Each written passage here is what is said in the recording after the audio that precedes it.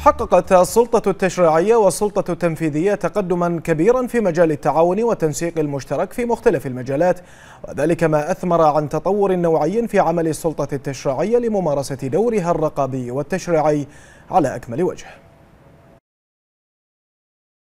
في أجواء واسعة من التعاون البناء بين سلطات الدولة ومؤسساتها برز التعاون بين السلطة التشريعية والسلطة التنفيذية تنفيذا لتوجيهات عاهل البلاد المفدى جلالة الملك حمد بن عيسى الخليفة أيده الله ورعاه الذي لطالما أكد على ضرورة تجسيد هذا التعاون بكل أشكاله وصوره على أرض الواقع ليكون المواطن البحريني دائما هو المستفيد الأول من ثمرة هذا التعاون والتنسيق المشترك في مختلف المجالات بين السلطتين التشريعية والتنفيذية.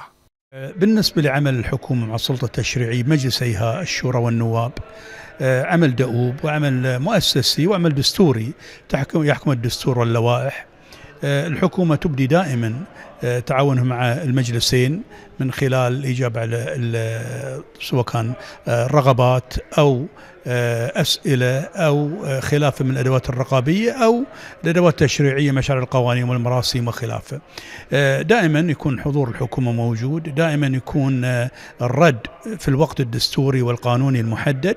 لابد من الحديث هنا عن أن الفترة الماضية لدور المجلس في للمجلسين أكد التوجه المتقدم للمقام السامي لجلالة الملك في مشروعه الإصلاحي.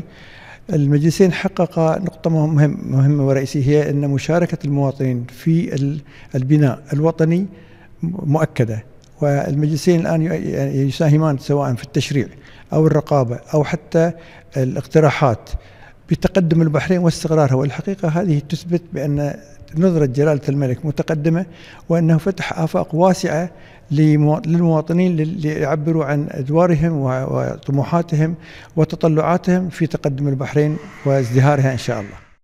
التناغم والتوافق على ثوابت العمل الوطني المشترك. هو الركيزة التي سار على نهجها التعاون بين السلطتين التنفيذية والتشريعية من خلال البحث والتشاور والاطلاع المستمر بكل شفافية على المشروعات والتوجهات التي لطالما أثبت التشارك المجتمعي فيها نجاح هذا النهج الوطني وأهميته في إيجاد البيئة المناسبة للعمل والتطوير بهدف تحقيق تطلعات البحرين استنادا إلى برنامج عمل الحكومة الموقرة والبنية التشريعية المتينة التي تفخر بها مملكة البحرين.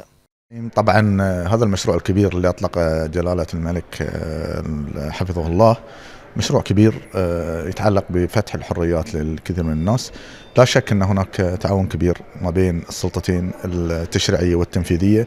قد يتراءى لكثير من الناس أن هناك آه، شد وجذب ما بين السلطتين وهذا معمول به في كل البرلمانات. نتمنى المزيد من التعاون من أجل الصالح العام آه، أمانة نشهد تعاون متكامل ما بين السلطتين خصوصا إحنا كنواب في جلسات ثنائية كبيرة ما بيننا وما بين ممثلين الحكومة.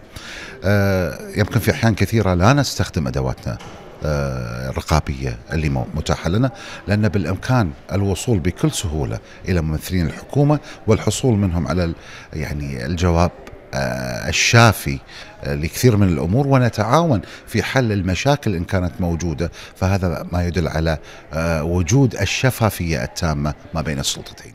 ثمرة التعاون البناء بين السلطتين تقطف ثمارها البحرين إنجازات ومكتسبات تتعاظم وتكبر يوما تلو الآخر مثبتة للعالم أجمع ماذا يصنع التعاون والتفاهم البناء بين السلطات في ظل رؤية وطنية شاملة لا تحيد عن مسار التنمية المتسارعة والشاملة لمختلف قطاعات المملكة.